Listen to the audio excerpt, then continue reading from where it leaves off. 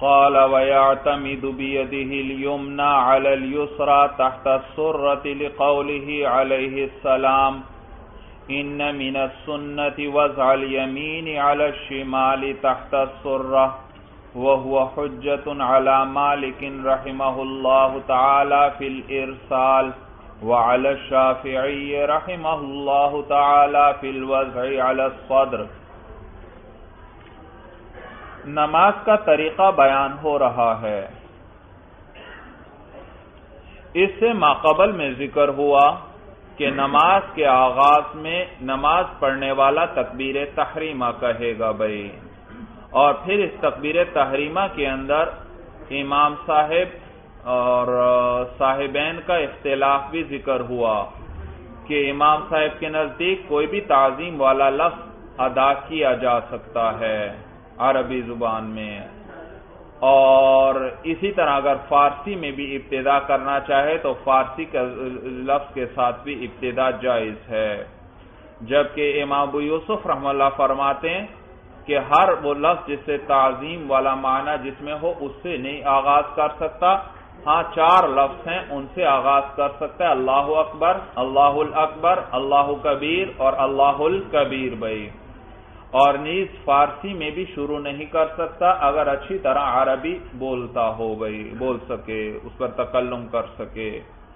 جبکہ امام محمد رحم اللہ عربی ہونے کے اندر تو امام صاحب کے ساتھ ہیں یعنی ہر تعظیم والے لفظ کے ساتھ نماز کا آغاز کرنا جائز ہے۔ البتہ فارسی والے مسئلے کے اندر امام ابو یوسف رحم اللہ کے ساتھ ہیں کہ فارسی میں اگر عربی اچھی طرح بول سکتا ہے تو فارسی کے اندر آغاز کرنا صحیح نہیں بھائی۔ جی اور نیز اسی طرح قیرات وغیرہ میں بھی اختلاف ذکر ہوا۔ اب بتلا رہے ہیں، اس کے بعد کیا کرے گا؟ تکبیر کہنے کے بعد۔ کالا ویا تمید السرا تحت سرتی اور رکھے اپنے دائیں ہاتھ کو نماز پڑھنے والا، رکھے اپنے دائیں ہاتھ کو علل یسرا بائیں ہاتھ پر تحت سرتی ناف کے نیچے بھائی۔ یعنی بایاں ہاتھ نیچے ہونا چاہیے اور دایاں ہاتھ اس کے اوپر ہونا چاہیے بھائی، اوپر ہونا چاہیے۔ اور تحت سرا اور کہاں پر ہاتھ باندھے؟ ناک کے نیچے ہاتھ باندھے بھائی۔ تو دایاں ہاتھ اوپر ہو اور بایاں ہاتھ نیچے ہو بھائی۔ اور احناف احناف کی کوشش ہوتی ہے کہ ہر حدیث پر عمل ہو جائے بھائی، ہر حدیث پر عمل ہو جائے۔ سمجھ میں آیا بھائی؟ تو لہذا جگہ جگہ آپ دیکھتے ہیں ہاں احادیث کے اندر جب دورہ حدیث آپ کریں گے بھائی، اللہ آپ سب کو توفیق دے گی۔ تو دورہ حدیث جب آپ کریں گے، وہاں مفصل بحثیں آئیں گی۔ آپ دیکھیں گے احناف کے مذہب کو کہ کس طرح ان کی کوشش ہوتی ہے۔ کہ ہر حدیث پر عمل ہو جائے بھائی۔ کوئی ایسی صورت اختیار کر لی جائے کہ ہر حدیث پر عمل ہو جائے بھائی۔ ہاں جہاں ممکن ہی نہ ہو کوئی صورت، تو پھر وہاں ایک ہی راستے کا انتخاب کرنا پڑتا ہے۔ جیسے یہاں بھائی، یہ ہاتھ رکھنے کے بارے میں بعض احادیث میں آتا ہے کہ دائیں ہاتھ کو بائیں ہاتھ پر رکھے، اس کے اوپر رکھنے کا ذکر ہے۔ سمجھ میں آیا بھائی؟ یعنی ہتھیلی کا ہتھیلی پر ہونے کا ذکر آتا ہے اور بعض احادیث کے اندر کلائی کو پکڑنے کا ذکر آتا ہے۔ تو احناف نے وہ صورت اختیار کی کہ جس میں دو ان سب پر عمل ہو جاتا ہے کہ کس طرح دائیں ہاتھ کی ہتھیلی کو بائیں ہاتھ کی ہتھیلی کی پشت پر رکھے اور جو انگلیاں ہیں ان کو تین انگلیاں درمیان والی ان کو کلائی پر سیدھا رکھے اور جو چھوٹی انگلیاں اور انگوٹھا ہے اس کے ساتھ کلائی کو پکڑ لے بھائی تو اب یہ سب پر سب حدیثوں پر کیا ہو گیا؟ عمل ہو گیا۔ ہتھیلی پر ہتھیلی بھی آ گئی۔ کلائی پر بھی ہاتھ کا کچھ حصہ آ گیا۔ تین انگلیاں کلائی پر آ گئیں۔ اور نیز کلائی کو پکڑ بھی لیا۔ انگوٹھے اور چھوٹی انگلی کے ساتھ تو سب پر عمل ہو گیا بھائی تو کہتے ہیں، وَيَعْتَمِدُ بِيَدِهِ الْيُمْنَا عَلَى الْيُسْرَى تَحْتَ السُّرَّةِ اور رکھے و نماز پڑھنے والا اپنے دائیں ہاتھ کو بائیں ہاتھ پر تحت السُّرَّةِ ناف کے نیچے۔ لقوله علیہ السلام، بوجہ حضور علیہ السلام کے اس قول کے کہ ان من السنت وضع الیمین علی الشمال تحت السرت کہ یقیناً سنت میں سے ہے، رکھنا دائیں ہاتھ کو بائیں ہاتھ پر، تحت السرت ناف کے نیچے بھئی صاحب ہدایہ نے اس کو حضور علیہ السلام کے قول پر نقل کیا ہے بھئی لیکن دیگر علماء اور شارحین حضرات لکھتے ہیں کہ یہ حضور علیہ السلام کا قول نہیں، بلکہ حضرت علی رضی اللہ تعالیٰ عنہ کا قول ہے، حضرت علی۔ تو یہاں صاحب ہدایہ سے یا تسامو ہوا۔ یا پھر کسی لکھنے والے کاتب کی غلطی سے حضرت علی رضی اللہ تعالیٰ عنہ کا نام یہاں بدل گیا بھائی۔ سورت سمجھ میں آ گئی تو یہ حضرت علی رضی اللہ تعالیٰ عنہ کا قول ہے۔ ان من السنتی وضع الیمینی علی الشمال تحت السرتی تو بہرحال، اگر حضرت علی رضی اللہ تعالیٰ عنہ کا قول ہو، پھر بھی دلیل ہے مولانا، کیا حضرت علی رضی اللہ تعالیٰ عنہ خلیفہ راشد ہیں اور وہ فرما رہے ہیں کہ سنت میں سے کیا ہے؟ دائیں ہاتھ کو بائیں ہاتھ پر رکھنا تخت سرتی، اور کہاں پر؟ ناف کے نیچے بھائی وہ حجت علی مالک رحمہ اللہ فی الارسال۔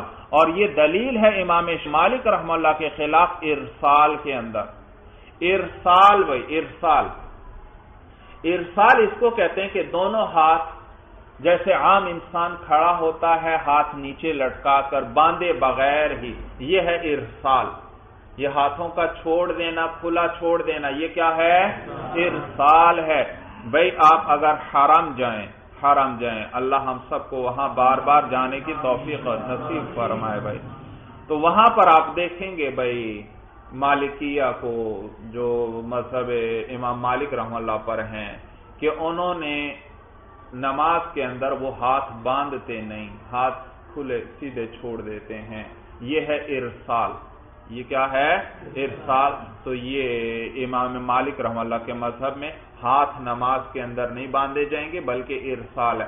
ہاتھ باندھ بھی سکتے ہیں، ان کے نزدیک بھی ہاتھ باندھ بھی سکتے ہیں، لیکن عظیمت یہ ہے کہ ہاتھ کھلے چھوڑ دیں، ارسال کرے۔ ہاں باندھنا چاہے ہاتھ تو باندھ بھی سکتا ہے، اس کی بھی رخصت ہے ان کے نزدیک، بھائی۔ سورج سمجھ میں آ گئے۔ تو یہ امام مالک رحمہ اللہ کا، ان کا مذہب یہ ہے، بھائی۔ تو وہاں آپ دیکھیں گے بہت سے لوگوں کو، انہوں نے ہاتھ نماز میں نہیں باندھے ہوں گے، یہ مالکیہ ہوں گے۔ ہاں شیعہ بھی اسی طرح کرتے ہیں، وہ بھی ہاتھ نہیں باندھتے، بھائی۔ لیکن بہرحال آپ چہروں سے ہی پہچان لیں گے بھائی، سمجھ میں آیا بھائی؟ ایک طرف سنت کے انوارات ہوں گے اور سنت کے انوارات اور برکات آپ کو واضح دکھائی دیں گی، دکھائی دے گی، جبکہ دوسری طرف بہت صحابہ کی وجہ سے جو نحوست برس رہی ہوگی، چہروں پر وہ آپ کو کھلی آنکھوں سے دکھائی دے گی۔ سمجھ میں آیا بھائی؟ تو یہ امام مالک رحم اللہ کے نزدیک ارسال ہے بھائی، ارسال۔ الحمد للہ سما الحمد للہ کہ اللہ نے ہمیں صحابہ کی محبت نصیب فرمائی ہے بھائی۔ الحمد للہ کتنی بڑی نعمت ہے بھائی، کتنی بڑی نعمت۔ اور کتنے ظالم ہیں وہ لوگ جو صحابہ کو برا کہتے ہیں بھائی۔ صحابہ کو دراصل اگر نکال دیا جائے تو دین ہی سارا ختم ہو جاتا ہے۔ کیونکہ حضور علیہ السلام کے شاگرد وہی ہیں، وہی دین سیکھ کر آگے دین کو پہنچانے والے ہیں۔ اس بیچ میں اس واسطے کو ختم کر دو، کاٹ دو۔ تو بعد میں تابعین آ گئے۔ تابعین کی تو حضور علیہ السلام سے ملاقات ہی نہیں ہوئی۔ وہ کیسے کوئی بات نقل کریں گے حضور علیہ السلام سے صحابہ کے واسطے کے بغیر ہوئے؟ سورج سمجھ میں آ گئی۔ تو یہ بنیاد ہی دین کو ختم کرنے کی ہے بھائی۔ تو الحمدللہ اللہ نے ہمیں صحابہ کی محبت نصیب فرمائی ہے اور صحابہ کا ذکر بھی کہیں آتا ہے تو دل کے اندر ایمانی لذت محسوس ہوتی ہے بھائی۔ تو امام مالک رحم اللہ کے نزدیک ارسال کیا جائے گا بھائی، ارسال۔ تو یہ حدیث جو ہے ان کے خلاف دلیل ہوئی بھائی۔ اس حدیث میں کیا ہے؟ حضرت علی رضی اللہ تعالیٰ عنہ کیا فرما رہے ہیں کہ سنت کیا ہے؟ دائیں ہاتھ کو بائیں ہاتھ پر رکھنا تحت سرتی ناف کے نیچے معلوم ہوا ہاتھ باندھنا سنت ہے، کھلے چھوڑنا سنت نہیں۔ وہ شافی رحم اللہ، اور یہی حدیث دلیل ہے امام شافی رحم اللہ کے خلاف بھی، فی الوضع علی الصدری سینے پر ہاتھ رکھنے میں۔ امام شافی رحم اللہ فرماتے ہیں کہ ناف کے نیچے ہاتھ نہیں باندھے جائیں گے، بلکہ سینے پر باندھے جائیں گے بھائی، سینے پر باندھے جائیں گے۔ تو اس حدیث میں کیا آیا؟ تحت سرتی ناک کے نیچے باندھے معلوم ہو، تو یہ ان کے خلاف بھی دلیل ہوئی۔ یہ پہلی دلیل بھائی۔ دوسری عقلی دلیل ذکر کر رہے ہیں۔ ولی ان الوز تحت سرتی اقرب تعظیم اور اس لیے کیونکہ ناک کے نیچے رکھنا ہاتھوں کا، یہ تعظیم کے زیادہ قریب ہے۔ وہ المقصود۔ اور وہی مقصود ہے۔ یہی تعظیم ہی مقصود ہے۔ ہم کہتے ہیں دوسری دلیل ہے ہماری کہ نماز جو ہے وہ اللہ تعالی کے دربار جلال و جمال میں مناجات ہے بھائی۔ اللہ سے مناجات ہے، اللہ کے سامنے حاضری ہے۔ اور جب کوئی غلام کسی بادشاہ کے سامنے کھڑا ہوتا ہے تو اسی طرح ہاتھ باندھ کر کھڑا ہوتا ہے، جس طرح ہمارا طریقہ ہے بھائی، کہ ناک کے نیچے۔ تو یہ تعظیم کے لیے یہ طریقہ کہ غلام بادشاہ کے دربار میں اس طرح کھڑے ہوتے ہیں۔ تو اور تو یہ کس طریقے کے اندر ہے؟ ہمارے طریقے کے اندر ہے۔ سینے پر ہاتھ باندھے جائیں یا کھلے چھوڑے جائیں تو اس میں تعظیم نہیں بھائی اتنی۔ جتنی کس طریقے کے اندر ہے؟ ہمارے طریقے کے اندر ہے بھائی۔ یہ مانا ہے تحت سرت اقرب تعظیم اس لیے کیونکہ ناف کے نیچے ہاتھوں کا رکھنا یہ تعظیم کے زیادہ قریب ہے۔ وہ المقصود اور یہی مقصود ہے یعنی تعظیم ہی مقصود ہے۔ ثم الاعتماد سنت القیام عند ابی حنیفت و ابی یوسف رحمهم اللہ تعالی حتی لا يرسل حالت السنائی پھر یہ ہاتھوں کا رکھنا یہ قیام کی سنت ہے۔ کس کی سنت ہے؟ قیام کی سنت ہے۔ امام محمد رحم اللہ فرماتے ہیں، یہ قیرات کی سنت ہے، قیرات بھائی۔ قیرات یعنی جب قرآن پڑھنا شروع کرے، سورہ فاتحہ وغیرہ، تو پھر ہاتھ باندھے، اس کی سنت ہے۔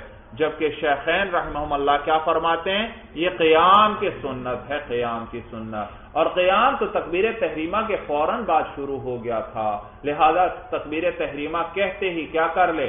ہاتھ باندھ جبکہ ان کے نزدیک یہ سنت ہے قیرات کی، اور قیرات سے پہلے سنا وغیرہ ہے بھائی۔ تو سنا وغیرہ اس میں معلوم ہو، ہاتھ باندھنا سنت نہیں۔ لیکن شیخین رحم اللہ فرماتے ہیں کہ یہ قیام کی سنت ہے۔ تو تکبیر تحریمہ کہتے ہی پھر فوراً ہاتھ باندھ لے۔ ثم الاعتماد سنت القیام عند ابی حنیفت و ابی یوسف رحمہ اللہ۔ پھر یہ ہاتھوں کا رکھنا یہ قیام کی سنت ہے شیخین رحمہ اللہ کے نزدیک۔ حتی لا يرسل حالت السنائی یہاں تک کہ ارسال نہیں کرے گا نماز پڑھنے والا سنا کی حالت میں۔ سنا وہ جو سبحانک اللہم پڑھتا ہے شروع میں، اس حالت میں بھی کیا کرے گا؟ ارسال نہیں کرے گا۔ کیونکہ یہ سنا بھی کس حالت میں ہے؟ قیام کی حالت میں اور ہاتھوں کا باندھنا کس کی سنت ہے؟ قیام کی۔ تو سنا کی حالت میں بھی قیام ہے اور قیام میں تو سنت ہے ہاتھوں کا باندھنا، لہذا اس حالت میں بھی ہاتھ باندھے ہوئے ہوں بھائی انسان کے۔ یہ مانا حتی لا یرسل حالت سنا یہاں تک ارسال نہیں کرے گا سنا کی حالت میں۔ والاصل ان كل قیام فیہ ذکر مسنون یعتمد فیہ وما لا فلا هو صحیح۔ اور اصل یہ ضابطہ اس کے اندر یہ ہے کہ ہر وہ قیام فی ذکر مسنون، جس میں کوئی مسنون ذکر ہو۔ ان کل قیام کل قیام آیا نکرا کیونکہ نکرا کی اضافت نکرا کی طرف ہو تو وہ نکرا ہی رہتا ہے۔ اور آگے آیا فی ذکر مسنون فی ہے خبر مقدم۔ ذکر مسنون ہے مبتدا مؤخر۔ مبتدا اپنی خبر سے مل کر جملہ۔ تو جملہ آ گیا کل قیام نکرا کے بعد بھائی۔ اور نکرا کے بعد جملہ ہے تو کیا بنتا ہے اس کے لیے؟ صفت۔ اور موصوص صفت کا ترجمہ کیسے کرتے ہیں؟ موصوص سے پہلے ایسا یا ایسی کلا۔ لہذا ترجمہ یوں ہوگا۔ والاصل ان کل قیام فیہ ذکر مسنون۔ اور اصل ضابطہ یہ ہے کہ ہر ایسا قیام جس کے اندر کوئی مسنون ذکر ہو یا تمید فی اس کے اندر ہاتھ رکھے گا یعنی ہاتھ باندھے گا۔ وما لا فلا اور جو قیام ایسا نہیں، فلا تو اس میں ہاتھ بھی نہیں باندھے جائیں گے۔ سورج سمجھ میں آگے تو کیا ضابطہ ہوا؟ کیا اصل ذکر ہو گئے ہر وہ قیام جس میں کوئی مصنون ذکر ہے، اس میں ہاتھ باندھے جائیں گے۔ اور وہ قیام جس میں مسنون ذکر نہیں، اس میں ہاتھ بھی نہیں باندھے جائیں گے۔ لہذا آپ مجھے بتائیے عید کی نمازوں میں آپ تکبیریں زائد تکبیریں کہتے ہیں۔ ان زائد تکبیروں کے اندر کوئی ذکر مسنون ہے؟ نہیں، ان کے درمیان میں کوئی ذکر تو مسنون نہیں۔ اور جب جس قیام میں ذکر مسنون نہ ہو، اس میں کیا کیا جائے گا؟ ہاتھ نہیں باندھے جائیں گے۔ لہذا آپ بھی اسی طرح کرتے ہیں۔ عید کی نمازوں میں جب وہ زائد تکبیریں کہتے ہیں، تو درمیان میں ہاتھوں کو باندھتے نہیں، بلکہ چھوڑ دیتے۔ اسی طرح قوما ہے قوما جب آپ رکو سے کھڑے ہوتے ہیں یاد رکھیے یہ تفصیل آگے آ جائے گی۔ جب رکو سے آپ اٹھتے ہیں تو امام کہے گا، سمی اللہ لمن حمیدہ. اور مقتدی یہ نہیں کہے گا، مقتدی کہے گا رب بنا لکل امام صرف سمی اللہ لمن حمیدہ کہے گا اور رب بنا لکل حمد نہیں کہے گا، جبکہ مقتدی وہ سمی اللہ لمن حمیدہ نہیں کہے گا اور رب بنا لکل حمد کہے گا۔ تو یہاں تقسیم ہے ہمارے نزدیک۔ امام سمی اللہ لمن حمیدہ کہے گا اور مقتدی ربنا لکل حمد۔ تو یہ جب انسان رکو سے اٹھتا ہے، تو اٹھتے ہوئے امام کہے گا سمی اللہ لمن حمیدہ۔ اور اسی وقت مقتدی بھی کہے گا ربنا لکل حمد۔ تو قومے کے اندر کوئی ذکر نہیں۔ قومے کے اندر کوئی ذکر نہیں۔ اسی لیے قومے کے اندر ہاتھ ہم باندھتے نہیں، بلکہ ہاتھوں کو چھوڑ دیتے ہیں۔ سورج سمجھ میں آ گئی بھائی؟ جبکہ جس جس حالت میں کوئی ذکر مسنون ہے تو وہاں پر ہاتھ باندھے جائیں گے۔ جیسے دعائے قنوت پڑھتے ہیں آپ وطر کے اندر بھائی، وطر کے اندر۔ تو اب ہاتھ باندھیں گے یا نہیں باندھیں گے؟ ہاتھ باندھ دیں گے بھائی، کیونکہ اس میں دعا پڑی جاتی ہے اس قیام کے اندر، یہ ویسے نہیں ہے۔ اسی طرح نماز جنازہ پڑھتے ہیں۔ نماز جنازہ کے اندر دعائیں پڑھی جاتی ہیں یا نہیں پڑھی جاتی؟ پڑھی جاتی ہیں اور ہر تکبیر کے بعد پڑھی جاتی ہیں، لہذا ہاتھ بندے رہیں گے مسلسل اسی طرح بھائی۔ سورج سمجھ میں آ گئی یہ مانا ہے کہ، ضابطہ یہ ہے کہ ہر وہ قیام فی ہی ذکر مسنون، جس میں کوئی مسنون ذکر ہو، یا تمید فی ہی اس میں ہاتھ رکھے گا یعنی ہاتھ باندھے گا۔ وہ لا، اور جو قیام ایسا نہ ہو، فلا، تو اس میں ہاتھ بھی نہیں باندھے۔ ہوا صحیح، یہی قول صحیح ہے۔ فیا تمید فی حالت القنوت و صلاۃ الجنازتی پس ہاتھ باندھے گا کس میں؟ دعائے قنوت کی حالت میں۔ وہ فلاط الجنازتی اور جنازے کی نماز میں۔ ویورسلو فی القومتی و بین تکبیرات الاعیادی اور ہاتھ کھلے چھوڑ دے گا قومے کے اندر یعنی رکو سے اٹھ کر جو قومہ ہے۔ وہ بین تکبیرات الاعیادی اور عیدوں کی جو تکبیریں ہیں، ان کے درمیان ثم یقول سبحانک اللہم و بحمدک الى آخرہ جی تکبیر کہہ دی، نماز کا طریقہ بیان ہو رہا ہے۔ تکبیر کہہ لی اور تکبیر کے بعد ہاتھ باندھ لیے۔ اب کیا شروع کر دے گا؟ سنا شروع کر دے گا۔ سبحانک اللہم و کا اور تبارک قسم کا تعالی جدو کا ولا الہ غیرک۔ بھئی ثم تو یہ وہی ذکر کر رہے ہیں، پھر سبحانک اللہم و بحمدک الى آخری آخر تک پڑھ لے گا۔ وعن ابی یوسف رحم اللہ رحمہ ابو یوسف رحم اللہ سے روایت ہے کہ انہو یزم الیہ، کہ وہ نماز پڑھنے والا اس کے ساتھ ملائے گا۔ اس سنا کے ساتھ کیا ملائے گا؟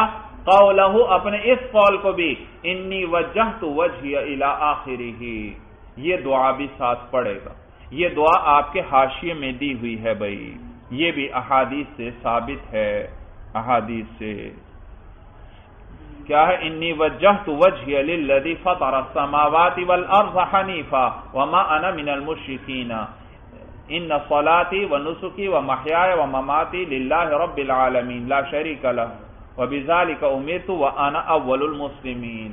سمجھ میں آیا بھائی؟ تو یہ دعا بھی حدیث سے ثابت ہے۔ تو امام ابو یوسف رحم اللہ فرماتے ہیں کہ ثنا پڑھنے کے بعد پھر یہ دعا پڑھے گا بھائی۔ یہ دعا پڑھے یہ مانا ہے، امام ابو یوسف رحم اللہ سے روایت ہے کہ انہو یزم الیہ، کہ وہ اس کے ساتھ ملائے گا۔ قولہ اپنے اس قول کو، انی وجہت وجہی الى آخری تک۔ لے روایت علی رضی اللہ تعالیٰ دلیل ذکر کر رہے ہیں اس کی۔ امام یوسف رحمہ اللہ اپنی دلیل ذکر کر۔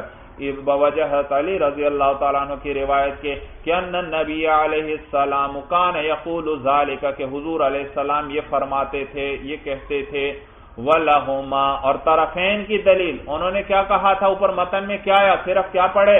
سبحانک اللہم کی صرف سنا پڑے گا۔ ولہما، ان کی دلیل جو ہے، روایت انس رضی اللہ وحد انس رضی اللہ تعالیٰ عنہ کی روایت ہے کہ ان نبی علیہ السلام کان اذا افتتح الصلاة کبر وقرأ سبحانک اللہم بحمدک الى آخرہ۔ کہ جب حضور علیہ السلام نماز کا آغاز فرماتے تو کب بارہ تکبیر کہتے۔ وقرأ اور یہ پڑھتے سبحانک اللہم بحمدک آخر تک۔ ولم یزید علی حاضا اور حضرت انس نے اس پر کوئی زیادتی نہیں کی۔ حضرت انس رضی اللہ تعالیٰ نے اپنی روایت کے اندر اس پر کوئی زیادتی نہیں کی۔ انہوں نے صرف یہ ذکر کیا، حضور علیہ السلام یہ پڑھا کرتے تھے اور سنا ذکر کی ہے۔ آگے انی وجہ والی دعا ذکر نہیں کی۔ تو معلومات صرف یہ پڑھیں گے۔ تو اس پر سوال پیدا ہوتا ہے کہ بھائی وہ حادیث میں تو آیا ہے بات کے اندر، تو اس کا جواب دے رہے ہیں۔ کہتے ہیں، وما رواہ محمول تحجدی اور وہ حدیث جس کو امام یوسف رحم اللہ نے روایت کیا، وہ تحجد پر محمول ہے کہ حضور علیہ السلام تحجد میں یہ دعا پڑھا کرتے تھے بھائی۔ اور تحجد کے اندر تو حضور علیہ السلام طویل نماز ادا فرماتے تھے۔ تو آپ بھی پڑھ سکتے ہیں تحجد میں بھی، نوافل وغیرہ میں بھی پڑھنا چاہیں پڑھ سکتے ہیں، لیکن جو فرض نمازیں ہیں، ان کے اندر صرف کیا پڑھے؟ صرف سنا پڑھے، کیونکہ فرض نماز مختصر ہونی چاہیے بھائی، مختصر۔ کیونکہ بعض لوگ ضعیف ہوتے ہیں، بعض بیمار ہوتے ہیں، کمزور وغیرہ، تو لہذا وہ فرض نماز جماعت کے ساتھ جو ہو مختصر ہونی چاہیے۔ سمجھ میں آیا بھائی جماعت کی بات چل رہی ہے۔ جماعت کی نماز کیا ہونی چاہیے؟ مختصر ہونی چاہیے بھائی۔ اچھا تو کہتے ہیں وہ ماورا ہو محمول تحجدی وہ تحجد پر محمول ہے۔ وقوله وجل ثناؤك لم يذكر في المشاهير۔ بھائی، بعض روایتوں میں وجل ثناؤك کا لفظ بھی آیا ہے۔ سبحانك اللهم وبحمدك تبارك اسمك و تعالی جدو کا وجل ثناؤ کا ولا الہ غیر تو یہ وجل ثناؤ کا بعض روایتوں میں یہ بھی آیا ہے، صاحب ہدایہ فرماتے ہیں، نہیں، یہ نہ پڑھے، یہ نہ پڑھے۔ اس لیے کیونکہ مشہور روایتوں میں یہ لفظ ذکر نہیں ہے بھائی۔ مشہور روایتیں جو آئی ہیں، ان میں اس لفظ کے بغیر ثنا کا ذکر ہے۔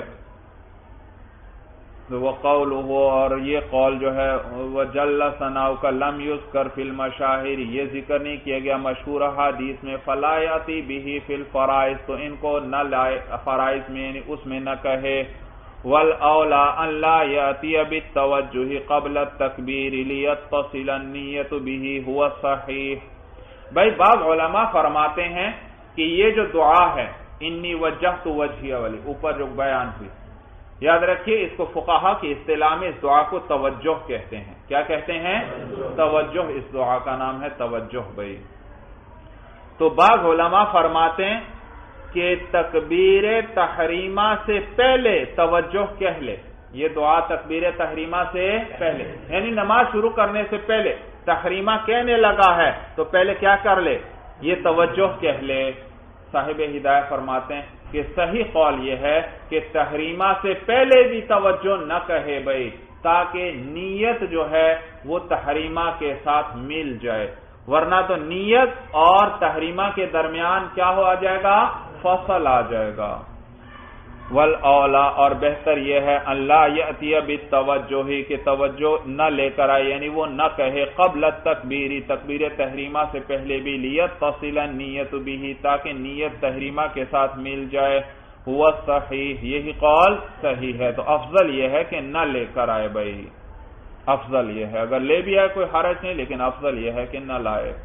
وَيَسْتَعِيذُ بِاللَّهِ مِنَ الشَّيْطَانِ الرَّجِيمِ، اور پناہ پکڑے اللہ کی من الشیطان الرجیم، کس سے؟ شیطان مردود سے۔ لقوله تعالی، اللہ تعالی کے اس قول کی وجہ سے۔ فَإِذَا قَرَأْتَ الْقُرْآنَ فَاسْتَعِذْ بِاللَّهِ مِنَ الشَّيْطَانِ الرَّجِيمِ۔ اور جب آپ قرآن پڑھیں تو پناہ پکڑیے اللہ کی شیطان مردود سے۔ اور جب آپ قیرات کریں معناہو اذا اردت قراءت القرآن تو قرآن میں تو قراءتا کا لفظ آیا، لیکن قرآت سے یہاں کیا مراد ہے؟ ارادہ قرآت مراد ہے، جب قرآت پڑھنے کا ارادہ کریں تو پھر پہلے کیا پڑھ لیں؟ اعوذ باللہ پڑھ لیں۔ تو مانا ہو ایزا ارت قراءت القرآن، جب آپ کا ارادہ قرآت قرآن کا ہو، نماز کا طریقہ بیان ہو رہا ہے، بھائی سب سے پہلے کیا کہے گا؟ تہنیت کی اور پھر تحریمہ کہے گا، اس کے بعد ہاتھ باندھ لے گا اور سنا پڑے گا۔ سنا کے بعد اب اعوذ باللہ پڑے گا، کیونکہ کیا شروع کرنے لگا ہے؟ قیرات شروع کرنے لگا ہے اور قرآن میں اللہ فرماتے ہیں، جب آپ قیرات کا ارادہ ہو تو کیا کر لیں؟ اعوذ باللہ پڑھ لیجیے۔ ولا یقول استعیذ باللہ صاحب ہدایہ فرما رہے کہ اولا یہ ہے کہ یوں کہے۔ اعوذ باللہ من الشیطان الرجیم، یوں نہ پڑھے، بلکہ اولا یہ ہے، یوں پڑھے، استعیذ باللہ من الشیطان الرجیم۔ سمجھ میں؟ مانا دونوں کا ایک ہی۔ لیکن استعیذ پڑھنا اولا ہے، صاحب ہدایہ فرماتے ہیں۔ اس لیے تاکہ قرآن کے لفظوں کے موافق ہو جائے آپ کی اعوذ باللہ بھائی۔ قرآن میں کیا ہے؟ فستعیذ تو اسی کے مطابق استعیز پڑھیں، پڑھنا اولا ہے۔ ہاں اعوذ باللہ بھی پڑھ لیں تو ٹھیک ہے، لیکن اولا استعیز ہے۔ جبکہ دیگر علماء فرماتے ہیں کہ اولا اعوذ باللہ پڑھنا ہے بھائی۔ سمجھ میں آئے اعوذ باللہ پڑھنا اولا۔ ول اولا، اور اولا یہ ہے یقولا کہ یوں کہے استعیز باللہ لیوافق القرآن، تاکہ وہ قرآن کے موافق ہو جائے، مطابق ہو جائے۔ وَيَقْرُبُ مِنْهُ أَعُوذُ بِاللَّهِ اور اسی کے قریب ہے اعوذ باللہ بھی۔ یعنی یہ بھی کہہ سکتا ہے، یہ بھی اسی کے قریب ہے۔ ثم التعوذ تبع للقراءة دون السناء عند ابي حنيفة ومحمد رحمهم الله تعالى۔ اب یہ تعوذ جو ہے یعنی یہ اعوذ باللہ کا پڑھنا، یہ قرات کے تابع ہے یا یہ سنا کے تابع ہے۔ اگر قیرات کے تابع ہے، تو قیرات کے وقت اعوذ باللہ پڑے گا۔ اور اگر سنا کے تابع ہے، تو سنا کے وقت کیا پڑے گا؟ اعوذ باللہ۔ کچھ بات سمجھ بھی آئی کہ نہیں؟ آپ کہیں گے ایک ہی بات ہے، چاہے سنا کے ساتھ پڑھ لے، چاہے قیرات کے ساتھ پڑھ لے، کیونکہ سنا کے بعد اعوذ باللہ کے ساتھ ہی کیا شروع ہو جائے گی؟ قیرات شروع ہو جائے گی تو لہٰذا دونوں کے ساتھ ہی بھائی، بعض جگہ فرق پڑے گا بھائی۔ بعض جگہ فرق پڑے گا۔ مثلا بھائی، عید کی تکبیرات ہیں۔ عید کی تکبیرات۔ اس میں دیکھیے، نیت کر کے جب نماز شروع کرتا ہے، پہلے کیا پڑھی جاتی ہے؟ سنا پڑھتے ہیں۔ پھر تین تکبیریں آتی ہیں۔ پھر اس کے بعد قیرات آتی ہے۔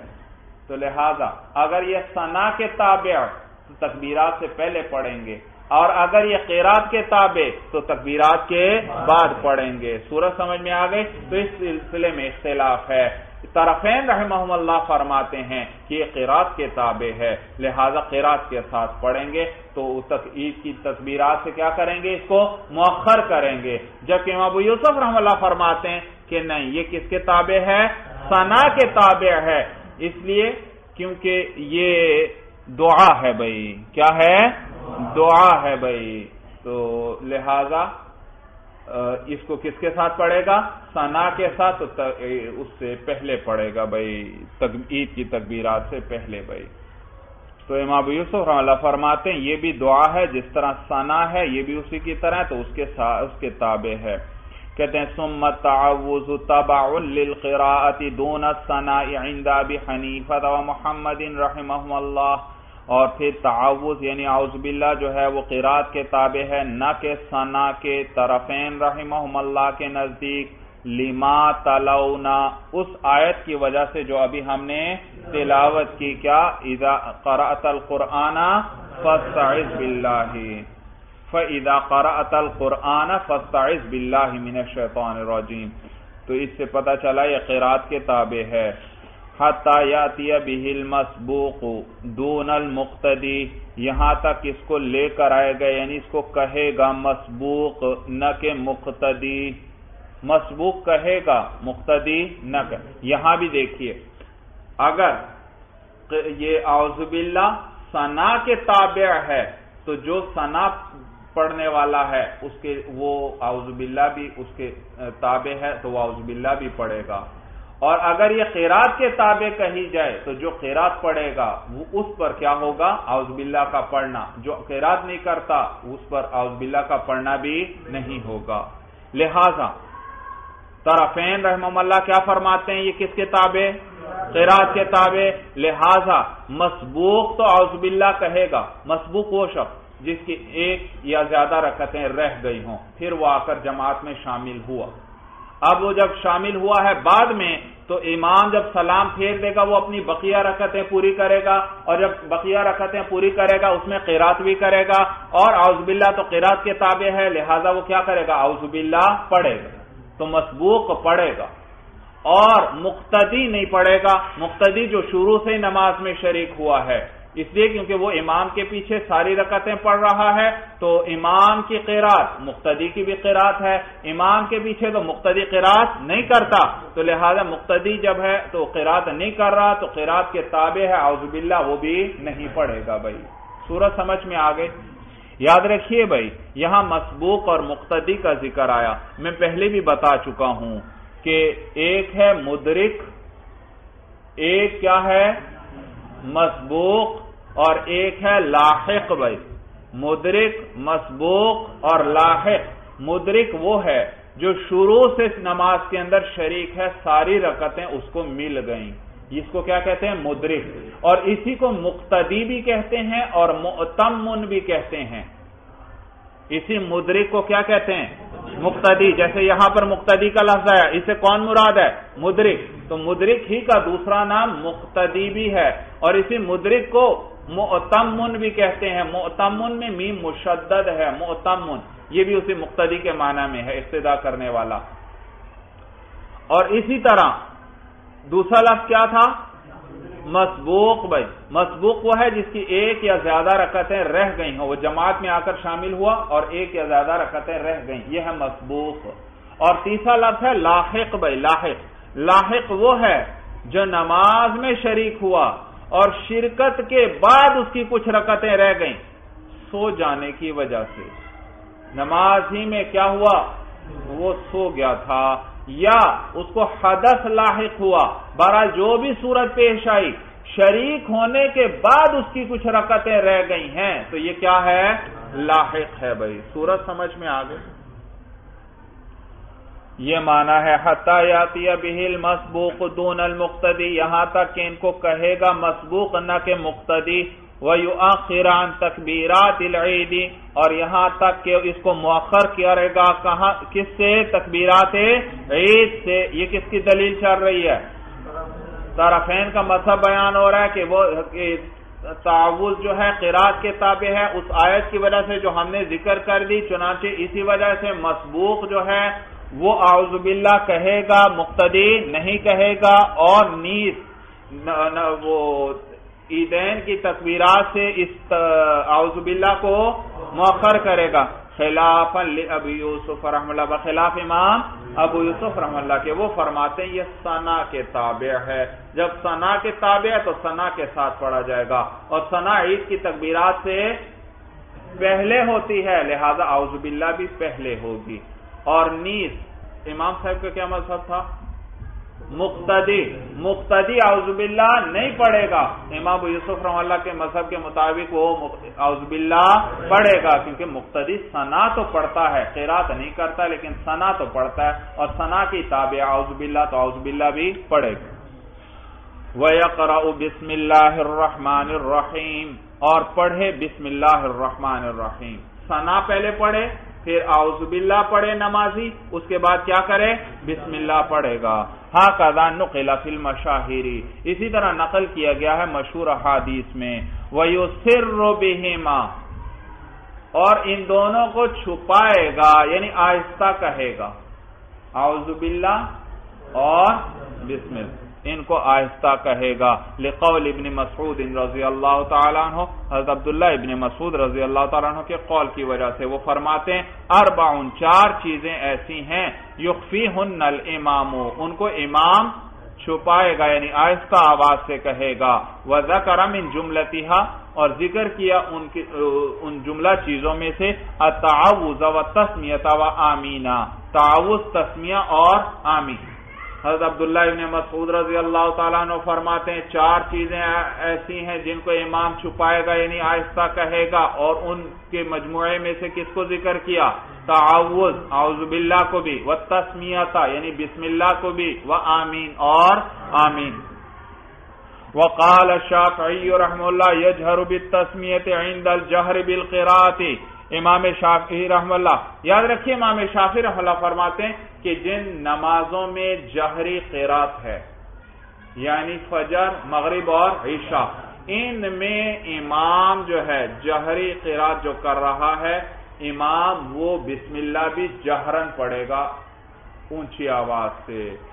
تو لہذا آپ تو یہاں نماز پڑھتے ہیں تو امام قیرات کیسے شروع کرتا ہے؟ الحمد رب العالمین سے شروع کرتا ہے۔ لیکن شوافے کے پیچھے اگر آپ نماز پڑھیں گے جہری، تو آپ دیکھیں گے وہ بسم اللہ بھی اونچی آواز سے پڑھتے ہیں بھائی۔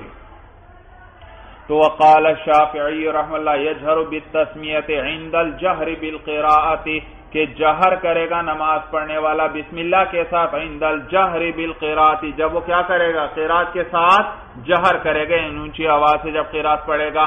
لما رویہ، بوجہ اس حدیث سے جو روایت کی گئی ہے کہ ان نبی علیہ السلام جہر فی صلاته بالتسمیتی کہ حضور علیہ السلام جو ہیں، انہوں نے جہر فرمایا اپنی نماز میں بالتسمیتی بسم اللہ کے ساتھ۔ قل نا ہم کہتے ہیں جواب میں ہوا محمول علی التعلیم، کہ وہ حدیث محمول ہے تعلیم پر۔ حضور علیہ السلام نے بطور تعلیم کے اونچا فرمایا تاکہ صحابہ سیکھ لیں کہ بسم اللہ بھی پڑھنی ہے۔ سیکھ لیں کہ کیا کرنا ہے؟ بسم اللہ بھی پڑھنی ہے۔ لیکن یہ حضور کا عام معمول نہیں تھا۔ کبھی فرمایا بھی ہے تو کس وجہ سے فرمایا؟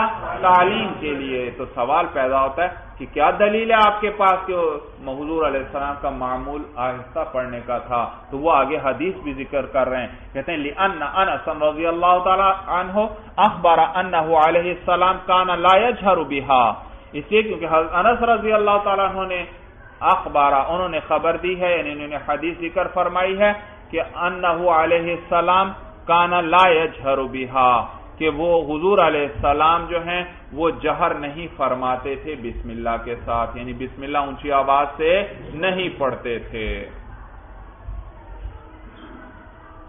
ثم عن ابی حنیفہ رحم اللہ، پھر امام ابو حنیفہ رحم اللہ سے روایت ہے کہ انہو لا یأتی بها فی اول کل رکعت کا تعوض کہ بسم اللہ کو نہ لائے گا یعنی نہیں کہے گا، فی اول کل رکعت، ہر رکعت کے شروع میں کا تعوضی جیسے کہ تعوض ہے۔ جیسے کیا ہے؟ توجہ ہے سبق کی طرف۔ امام صاحب سے ایک روایت یہ ہے کہ پہلی رکعت میں تو بسم اللہ پڑھے گا اور باقی رکعتوں میں بسم اللہ نہیں پڑھے گا، جیسے کہ تعاوض ہے۔ یعنی جیسے باقی رکعتوں میں تعاوض یعنی اعوذ باللہ نہیں پڑھی جاتی، اسی طرح بسم اللہ بھی نہیں پڑھی جائے گی۔ یہ ایک روایت ہے۔ وَعَنْهُ أَنَّهُ يَأْتِي بِهَا احتیاطًا۔ اور امام صاحب سے ہی ایک روایت یہ ہے کہ بسم اللہ لائے گا یعنی ہر رکعت میں پڑھے گا احتیاطن بطور احتیاط۔ ہر رکعت میں بسم اللہ پڑھے گا بھائی خیرات کے لیے۔ بطور احتیاط کے۔ اس لیے کیونکہ بعض ائمہ کے نزدیک بسم اللہ فاتحہ کا جز ہے۔ ہمارے نزدیک تو بسم اللہ فاتحہ کا جز نہیں، لیکن بعض ائمہ کے نزدیک بسم اللہ فاتحہ کا جز ہے۔ تو احتیاط اسی میں ہے کہ جب فاتحہ پڑھ رہا ہے تو ساتھ کس کو پڑھ لے؟ بسم اللہ کو بھی پڑھ لے تاکہ اختلاف سے ہی نکل جائے بھائی۔ سورج سمجھ میں آ گئی؟ تاکہ ہر ایک کے مطابق، مذہب کے مطابق نماز صحیح ہو جائے۔ تو دیکھیے، یہاں صاحب ہدایہ بھائی۔ کیا فرمایا؟ ایک روایت یہ ہے کہ ہر رکعت میں بسم اللہ نہیں پڑھے گا، جیسے اعوذ اللہ نہیں پڑھتا۔ اور دوسری روایت یہ ہے کہ احتیاط اس میں ہے کہ ہر رکعت میں کیا کر لے؟ بسم اللہ پڑھ لے بھائی، بسم اللہ پڑھ لے۔ یہ صاحب ہدایہ کی فصیح و بلی عبارات، دیکھیے، ایک لفظ کے اندر ایک پورے مسئلے کی طرف وہ اشارہ کر جاتے ہیں۔ اشارہ۔ جیسے انہوں نے کہا تعوض جیسے کہ اعوذ باللہ ہے۔ کوئی انہوں نے ذکر کیا کہیں پر کہ اعوذ باللہ پہلی رکعت میں پڑھنی ہے، بعد والوں میں نہیں پڑھنی۔ لیکن یہاں کت تعوض کی لیے بتا کے چلے گئے۔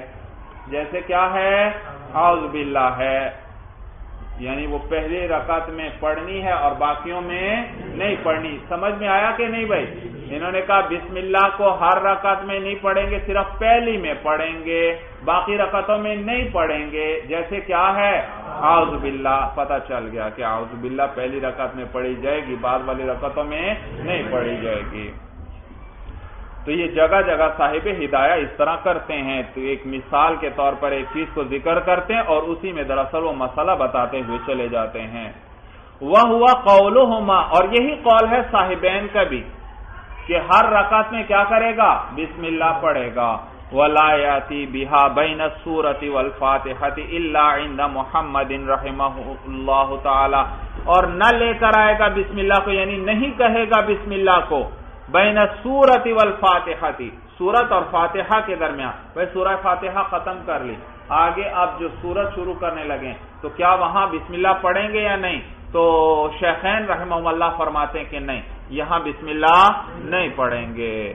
اللہ عند محمد رحم اللہ سوائے امام محمد رحم اللہ کے وہ فرماتے ہیں کہ پڑھیں گے بھائی۔ فَإِنَّهُ بِهَا فِي صَلَاةِ الْمُخَافَتَةِ پس وہ لے کر آئے گا اس کو یعنی بسم اللہ پڑھے گا، فی صلاة المخافتتی مخافتت والی نماز یعنی جس میں آہستہ قرآت کی جاتی ہے۔ اس جس میں بھائی امام محمد رحم اللہ فرماتے ہیں کہ سورہ فاتحہ کے بعد جب دوسری سورت شروع کرنے لگیں تو وہاں بھی کیا کرے گا؟ بسم اللہ پڑھنی چاہیے۔ لیکن وہ اس نماز میں جس میں قرات آہستہ کی جاتی ہے، جس میں قرات اونچی کی جاتی ہے، اس کے اندر نہیں پڑے گا بھائی۔ امام نماز پڑھاتا ہے۔ آپ سنتے ہیں۔ وہ سورہ فاتحہ ختم کرنے کے بعد پھر کیا شروع کر دیتا ہے؟ سورہ۔ درمیان میں بسم اللہ پڑھتا ہے یا نہیں پڑھتا؟ نہیں پڑھتا۔ تو شیخین رحمہ اللہ کا یہ مذہب ہے۔ اور یہ جہری نماز میں امام محمد رحم اللہ بھی فرماتے ہیں کہ اس میں نہیں پڑے گا۔ ہاں جو آہستہ آواز میں قیراط کرے تو اس میں کیا کرے گا؟ پڑے گا بھائی۔ لیکن شیخین رحم اللہ فرماتے ہیں کہ اس میں بھی نہیں پڑے گا بھائی۔ ثم يقرأ فاتحة الكتاب وسورة او ثلاث آیات من ای سورة شاء۔ پھر اس کے بعد بھائی، پڑھے۔ فاتحت الکتاب یعنی سورہ فاتحہ پڑھے گا۔ بھائی، کیا طریقہ بیان ہوا؟ تکبیر کا کہی، ہاتھ باندھ لیے، پھر اس کے بعد سبحانک اللہم سنا پڑھ لی، اس کے بعد اعوذ باللہ پڑھیں گے، پھر بسم اللہ، اور اب سورہ فاتحہ کا ذکر آیا۔ پھر سورہ فاتحہ پڑھے گا وہ سورتن اور کوئی سورت اور سلاس آیات من ای سورتین۔ یا تین آیتیں کسی صورت سے۔ یعنی اس سورہ فاتحہ کے بعد کوئی ایک سورت پڑھ لے یا تین آیتیں پڑھ لے کسی جگہ سے۔ فی ای سورت انشاء، جس صورت سے وہ چاہے۔ من ای سورت انشاء، جس صورت سے وہ چاہے۔ فقراءت الفاتحہ لا تتعین رکنا عندنا۔ تو فاتحہ کی قرات یہ متعین نہیں ہے بطور رکن کے ہمارے نزدیک۔ ہمارے نزدیک بالخصوص سورہ فاتحہ کا پڑھنا یہ فرض نہیں ہے، رکن نہیں ہے نماز کا۔ رکن نماز تو وہ ہے کہ جو رہ جائے تو نماز ہی نہیں ہوئی۔ تو ہمارے نزدیک سورہ فاتحہ کا پڑھنا رکن نہیں ہے بھائی۔ ہاں مطلق قرآن جو ہے وہ رکن ہے، فرض ہے، خاص طور پر فاتحہ کا پڑھنا رکن نہیں۔ فقراءت الفاتحة لا تتعین رکنا عندنا، تو فاتحہ کا پڑھنا وہ بطور رکن کے متعین نہیں ہے ہمارے نزدیک۔ وَقَذَا ذَمُّ السُّورَةِ إِلَيْهَا، اور اسی طرح سورت کا اس کے ساتھ ملانا، یہ بھی ہمارے نزدیک رکن نہیں۔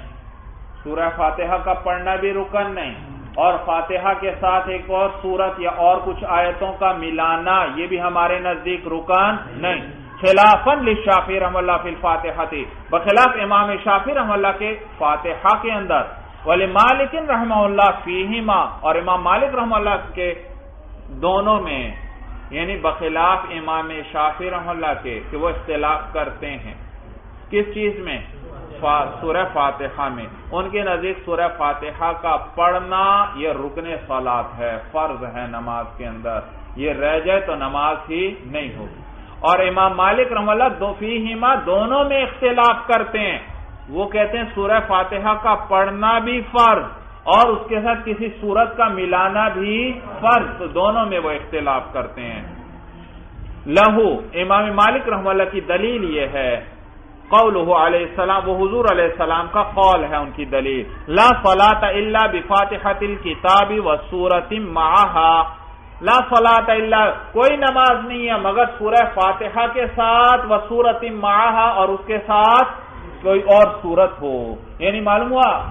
سورہ فاتحہ اور اس کے ساتھ جب تک دوسری صورت نہ ملائیں گے، اس کے بغیر کوئی نماز ہوگی ہی نہیں۔ یہ کس سے معلوم ہوا؟ حدیث سے۔ یہ امام مالک رحم اللہ کی دلیل۔ چنانچہ وہ فرماتے ہیں، سورہ فاتحہ بھی فرض اور اس کے ساتھ سورت کا ملانا بھی فرض۔ ولی شافی رحم اللہ قول علیہ السلام اور امام شافی رحم اللہ کی دلیل جو ہے، لا فلاح اللہ بفاتحت الکتابی کوئی نماز نہیں مگر فاتحت الکتاب کے ساتھ یعنی سورہ فاتح یعنی سورہ فاتحہ کے بغیر نماز نہیں ہوگی کوئی بھی۔ معلوم سورہ فاتحہ کا پڑھنا فرض ہے۔ یہ کس کی دلیل آئی؟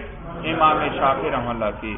ولانا اور ہماری دلیل قول تعالی اللہ تعالی کا یہ قول ہے فقر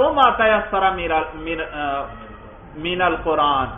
تم پڑھو جو آسان ہو قرآن میں سے، جو میسر ہو کس میں سے؟ قرآن۔ معلوم، مطلق قرآن فرض ہے۔ کہیں سے بھی کر لی جائے، فرض ادا ہو جائے گا۔ فرض ادا ہو جائے گا، نماز جائز ہو جائے گی۔ تو یہ ہم دلیل کے طور پر آیت ذکر کرتے ہیں۔ وہ دلیل کے طور پر احادیث ذکر کر رہے تھے۔ ہم نے دلیل کے طور پر قرآن کو ذکر کر دیا بھائی۔ سورج سمجھ میں آ گئی۔ اور لیکن میں نے ابھی آپ کو بتایا۔ احناف کی کوشش ہوتی ہے ہر حدیث پر عمل ہو جائے۔ چنانچہ اب یہ مانا بھی نہیں ہم نے ان حادیث کو چھوڑ دیا۔ ہم ان دونوں پر بھی عمل کرتے ہیں۔ لیکن کتاب اللہ جو ہے سب سے قوی ہے، سب سے قوی کیونکہ متواتر ہے، تو لہذا اس کا درجہ سب سے اونچا۔ کتاب اللہ سے جو چیز ثابت ہوئی، اس کو ہم نے فرض قرار دیا۔ تو مطلق خیرات فرض ہے۔ اور احادیث جو ہے وہ خبر واحد ہیں۔ تو اس کے ذریعے جو چیز ثابت ہوئی، اس کو ہم نے واجب قرار دیا۔ واجب قرار دیا۔ تو ہمارے نزدیک سورہ فاتحہ کا پڑھنا واجب، اس کے ساتھ سورت کا ملانا واجب ہے۔ واجب ہے۔ اور میں نے بتایا تھا، واجب بھولے سے چھوٹ جائے تو سجدہ صاحب سے نماز ہو جائے گی۔ لیکن جان بوجھ کر اگر چھوڑتا ہے تو اس نے بڑی ہی خراب نماز پڑھی اور اس کو نم، اس پر نماز کا اعادہ واجب ہے۔ نماز پھر لوٹانی چاہیے بھائی۔ سمجھ میں آئی بات؟ تو دیکھو، احناف کی کوشش ہوتی ہے ہر حدیث پر عمل ہو جائے، تو ہمارے نزدیک بھی سورہ فاتحہ کا پڑھنا واجب ہے اور سورت کا ملانا بھی واجب ہے، کیونکہ احادیث سے معلوم ہوا بھائی۔ وہ زیادت علیہ بھی خبر الواحد لا جوز اور تو یہ قرآن میں آیا ہے، اور اس پر زیادتی کرنا بھی خبر الواحد، خبر واحد کے ساتھ لا جوز یہ جائز نہیں۔ بھائی آپ نے اصول فقہ کے اندر پڑھا ہے کہ خبر واحد کے ذریعے کتاب اللہ پر زیادتی جائز نہیں ہے۔ خبر واحد کے ذریعے کتاب اللہ پر زیادتی لیکن یاد رکھیے یہ قانون اس طرح نہیں ہے، اس میں تفصیل ہے تھوڑی سی۔ خبر واحد کے ذریعے کتاب اللہ پر شرط اور فرض کے درجے میں زیادتی جائز نہیں۔ واجب اور سنت کے درجے میں زیادتی جائز ہے۔ یعنی کتاب اللہ سے ایک چیز معلوم ہو رہی ہے، خبر واحد سے دوسری چیز معلوم ہو رہی ہے۔ تو جو چیز خبر واحد سے معلوم ہو رہی ہے، اس کو فرض یا شرط نہیں قرار دیا جا سکتا۔ کیونکہ اگر آپ اس کو بھی فرض قرار دیتے ہیں یا شرط قرار دیتے ہیں، تو آپ نے کتاب اللہ پر زیادتی کی۔ اور کس درجے میں کی؟ فرض اور شرط کے درجے، فرض اور شرط کے درجے میں نہیں بھائی۔ سمجھ میں کتاب اللہ کا مقام اونچا ہے، لہذا اس سے جو چیز ثابت ہوگی وہ فرض ہوگی۔ اور خبر واحد کا مقام اس سے کم ہے، لہذا اس سے جو چیز ثابت ہوگی وہ شرط اور فرض نہیں۔ ہو سورج سمجھ میں آ ہاں واجب اور سنت کے درجے میں زیادتی جائز ہے۔ اسی لیے ہم نے کیا قرار دیا؟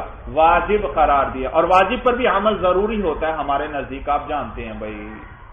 یہ فرض کے قریب ہی ہے بھائی۔ ہاں فرض میں اعتقاد ضروری ہے، واجب میں اعتقاد ضروری نہیں۔ سورج سمجھ میں آ واجب میں اعتقاد ضروری نہیں۔ کیا مانا ہوتا ہے؟ اعتقاد ضروری ہے، اعتقاد ضروری نہیں۔ ہاں شابش بھائی، وطر ہمارے نزدیک واجب ہیں یا فرض ہیں؟ واجب ہیں۔ لہذا ایک آدمی وطروں کا انکار کر دیتا ہے، تو اب آپ اس کو کافر نہیں کہیں گے۔ کافر نہیں، کیونکہ اس کا اعتقاد رکھنا فرض ہے ہی نہیں۔ اعتقاد ضروری تھا ہی نہیں کیونکہ یہ واجب ہے۔ کافر نہیں کہیں گے۔ سمجھ میں آئی بات؟ ہاں گناگار ہونا وغیرہ الگ ہے، بات چاہیے کافر کہیں گے یا کافر نہیں کہیں گے؟ اس کو کافر نہیں۔ ہاں اگر فرض کا کوئی انکار کرتا ہے، اس کو کافر کہیں گے۔ لہذا اگر ایک شخص کہتا ہے ظہر کی نماز ہے ہی نہیں تو اس کو کیا کہیں گے؟ کافر ہے۔ تو فرض کا اعتقاد بھی ضروری ہے پڑھنا نہ پڑھنا دوسری چیز ہے، اعتقاد رکھنا ضروری ہے بھائی۔ اعتقاد بھی ہو اور اس پر عمل بھی ہونا چاہیے۔ لیکن اگر اعتقاد نہیں رکھے گا تو کافر ہو جائے گا۔ کس میں؟ فرضوں اور واجب میں کافر اس کو قرار نہیں دیا جائے گا۔ فرق سمجھ میں آیا بھائی؟ تو لہذا خبر واحد پر انہوں نے کیا کہا؟ وہ زیادت علیہ بھی خبر الواحد لا يجوز۔ اور کتاب اللہ پر زیادتی کرنا خبر واحد کے ساتھ جائز نہیں۔ حالانکہ واجب قرار دیا یا نہیں؟ خود کہہ رہے ہیں لا کن یوجب العمل۔ لیکن یہ عمل کو واجب کرتا ہے۔ یعنی اس پر عمل واجب ہے۔ عمل کرنا واجب ہو۔ تو بھائی کتاب اللہ سے کیا پتا چلا؟ سورہ فاتحہ کا پڑھنا واجب ہے یا واجب نہیں؟ کتاب اللہ سے، کتاب اللہ سے۔ جی کتاب اللہ میں تو صرف مطلق قیرات فرض ہے، اتنا پتا چلا۔ تو آپ جب سورہ فاتحہ کو واجب قرار دے رہے ہیں اور اس کے ساتھ سورت کے ملانے کو واجب قرار دے رہے ہیں، تو یہ کتاب اللہ پر زیادتی ہوئی یا نہ ہوئی؟ زیادتی تو ہو گئی۔ سمجھ میں آیا؟ تو لہذا اسی لیے ان دو قیدوں کا لحاظ رکھنا کہ کتاب اللہ پر خبر واحد کے ذریعے فرض اور شرط کے درجے میں زیادتی جائز نہیں، واجب اور سنت کے درجے میں زیادتی جائز ہے بھائی۔ اور اسی طرح ذکر کیا ہے علامہ انور شاہ کاشمیری رحمہ اللہ نے فیض الباری کے اندر بھائی۔ تو کہتے ہیں وزیادت علیہ بخبر الواحد لا يجوز اور کتاب اللہ پر زیادتی کرنا خبر واحد کے ساتھ یہ جائز نہیں۔ لیکنہ یوجب العمل۔ لیکن یہ کس کو واجب کرتی ہے؟ خبر واحد۔ عمل کو واجب کرتی ہے۔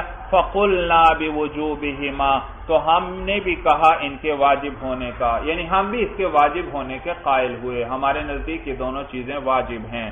وَإِذَا قَالَ الْإِمَامُ وَلَا الظَّالِّينَ قَالَ آمین اور جس وقت امام ولا الظالین کہے، قال آمین تو آمین کہے۔